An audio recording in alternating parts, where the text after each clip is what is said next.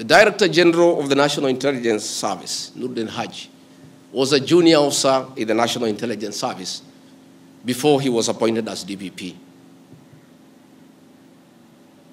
When he was appointed to the office of the Director General, because of inferiority complex, he chased away all the people who were senior to him when he was in the service, therefore crippling the capacity of that service and making it dysfunctional. Three directors were chased away and reassigned to desk jobs in ministries across government.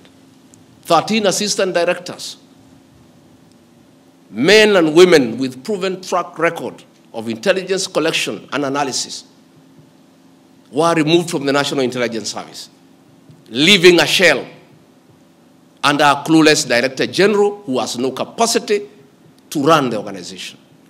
And that is why the security sector was caught off guard by the intensity, the anger of the Kenyan people, the agitation of the Kenyan people, the resilience of the Kenyan people.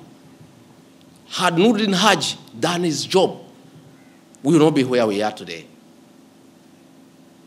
He has no capacity. He is out of the country most of the time on business trips. The country is on its own. My boss, President William Ruto, is exposed. That he has to back down and admit that he has hurt the people of Kenya. Yet this matter has been in public domain for the last two months. I want to say that Noordin Haj must take responsibility for the deaths that occurred. He must take responsibility for the mayhem. He must take responsibility for failing President William Ruto.